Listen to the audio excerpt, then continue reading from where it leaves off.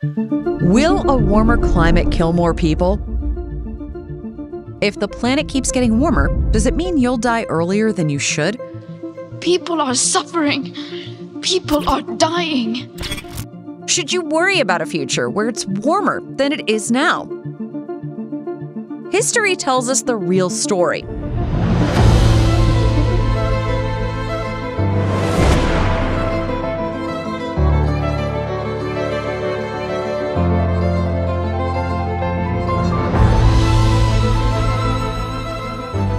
Heat does sometimes kill people. That is a fact.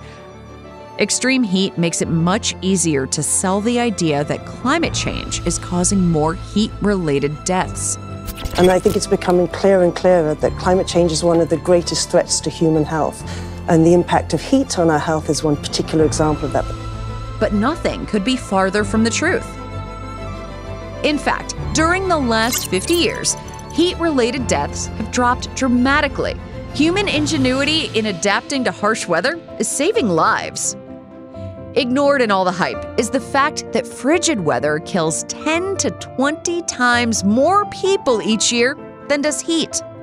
Cold weather is directly associated with 1 in 15 deaths from all causes. Cold can exacerbate cardiovascular disease and respiratory illnesses, which are leading causes for deaths worldwide.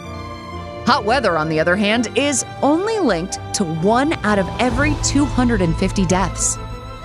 Cold weather clearly kills more people. Right now are these rolling outages, these periodic blackouts that have been going into effect since early this morning. In February 2021, nearly 250 people died in Texas due to a single winter storm. No heat, we have no power to cook food. Power was out for days, and people had no heat in their homes and nowhere to go.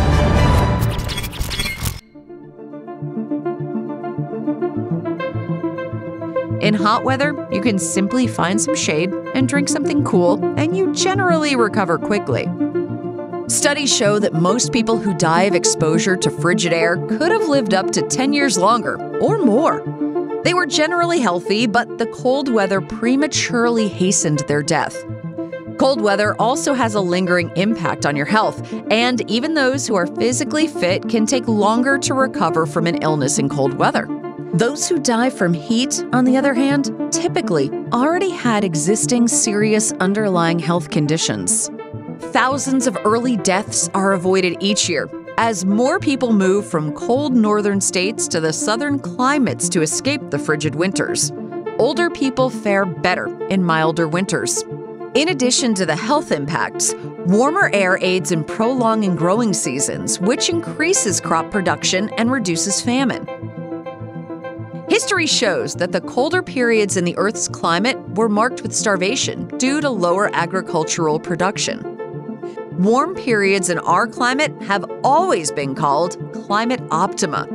Civilization has always expanded and flourished during the warmer portions of Earth's history. Since the rise of the first great civilizations during the Bronze Age, there have been three previous great warming periods that were all warmer than our current temperatures.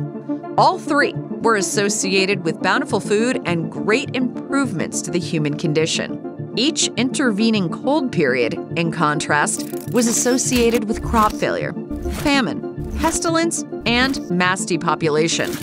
The Greek Dark Ages, Dark Ages, and the Little Ice Age were all very cold eras that led to horrific consequences for humanity.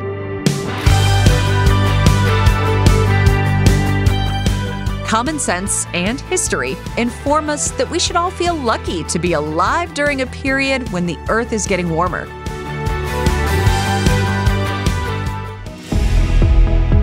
You can rely on the experts at the CO2 Coalition to provide scientific resources to help you sort out fact from fiction.